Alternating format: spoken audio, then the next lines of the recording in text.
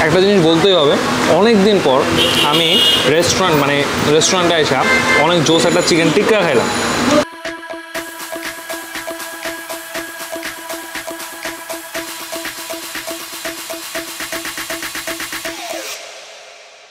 Hello guys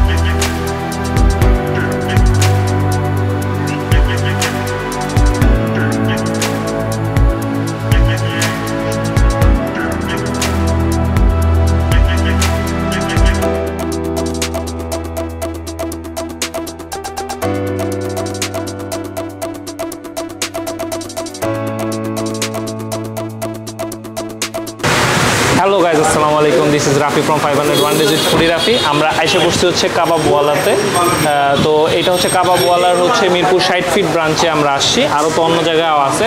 তো মানে এখানে প্রচুর গরম, এর জন্য বাইরে ইন্ট্রো নেই মানে বিরক্ত লাগতেছে। এখানে ফ্যানের মধ্যেও গরম লাগতেছে। তারপরেও খাবারগুলো আমরা নিয়ে নিলাম। ছয়শো টাকা বাজেটের মধ্যে কিছু আইটেম নিছি। তো আমি যদি ফার্স্টে দেখাই, সেটা হচ্ছে এখানে চিকেন চাপ এটা। চিকেন চাপ এটা হচ্ছে একশো বিশ টাকা। তারপরে এটা হচ্ছে ওনাদের চিকেন টিক্কা চিকেন টিক্কার প্রাইসও হচ্ছে একশো বিশ টাকা। আর এখানে চিকেন বটি কাবাব আছে। এটার প্রাইস হচ্ছে একশো বিশ টাকা। আর বিফ আইটেমগুলোর মধ্যে আমরা জাস্ট বিফ শিকটা নিছি। বিফ শিক কাবাব হচ্ছে একশো টাকা।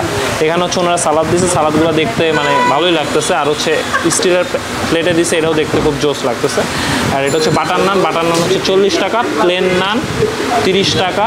আর হইতেছে লুচি কইরে?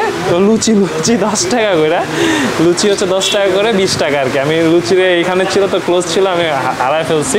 তো শুরু করি আমরা। ফার্স্ট হচ্ছে চাপের সাথে যেহেতু আমার কাছে মনে হয় লুচিটা বেস্ট কম্বিনেশনে যায়, তাই হচ্ছে লুচি দিয়ে শুরু করি। চিকেন চাপ বিসমিল্লা করি। ও চিকেন চাপটা তো জোস দেখতে। চিকেন চাপটা আসলে মারাত্মক, বলতে হবে। একটু টিক্কা ট্রাই করা পালা।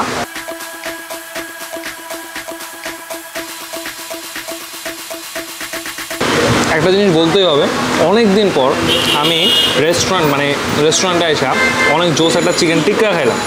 এটা একটা কোলের ফ্লেভার যে আসতেছে, এটা প্রথম কথা, এটা মারাত্মক লাগতেছে। গরমের মধ্যেও খাইতেছি বাট ভালো লাগতেছে। এটার টেস্ট আসলেই জোস। আমি আরেক বাটার নান দিয়ে ট্রাই না করলে জিনিসটা ভালো হবে না। তাই আরেকটু ট্রাই করি। কারণ এটা যখন এখান থেকে একটু বাম সাইডে চলে যাবে, তখন আর এটা আমার কাছে থাকবে না। এটা গায়েব হয়ে যাবে। আমি ডেফিনেটলি আরেকবার এখানে এসে চিকেন টিক্কাটা খাব। এটা মারাত্মক লাগছে আমার কাছে। ঠিক আছে, এবার হচ্ছে যে চিকেন বটিটা ট্রাই করি। বিফ শিখে যদি আমি চলে যাই চিকেন বটিটা একশো বিশ টাকায় এবং চূড়া মানে খাইতে খাইতে এবং ঝুড়ো ঝুড়ো অংশ দিচ্ছে তো, এই জন্য কেমন লাগতেছে বাট সোজা দিলে হয়তো বা এটা কোয়ান্টিটি এরকমই হইতো। সো লেটস ট্রাই নর্মাল নানটাও সফট আছে। ওনাদের নানগুলো কিন্তু আসলেই ভালো। জোস বলা যায়। চিকেন বড়ি বড়ি কাবাবটা ভালো আছে।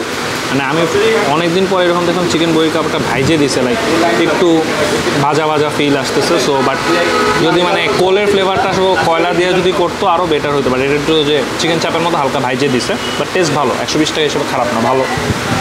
আচ্ছা তো এখন কথা হইতেছে বিফ শিকটাও ট্রাই করার পালা আমাদের। বিফ শিকটা মোটামুটি ভালোই সফট আছে, আর সাইজটাও কিন্তু একশো টাকা হিসাবে ভালোই। লিপস্টিকটা ভালোই বলা যায়। একশো তিরিশ টাকা হিসাবে খারাপ না মজাই। বাট বেস্ট আইটেম হচ্ছে ওনাদের চিকেন টিক্কা। খাওয়াটা শেষ করুক সবাই, তারপর ওভারঅল এক্সপিরিয়েন্স শেয়ার করে দিতেছে।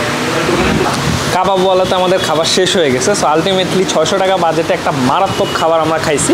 এবং সবচেয়ে প্রথমে বলতে হবে যেটা এখানের বেস্ট আইটেম আমার কাছে যেটা লাগছে সেটা হচ্ছে চিকেন টিক্কাটা। ওটা একদম অস্থির এবং মারাত্মক ছিল। So best item of Kababwala আমি বলতে পারি মানে আমাদের ট্রাই করা হিসাবে। তারপরে সেকেন্ডে যাবে হচ্ছে চিকেন চাপ থার্ডে যাবে হচ্ছে বিফ শিক ফোর্থে যাবে হচ্ছে চিকেন বডি কাবাব।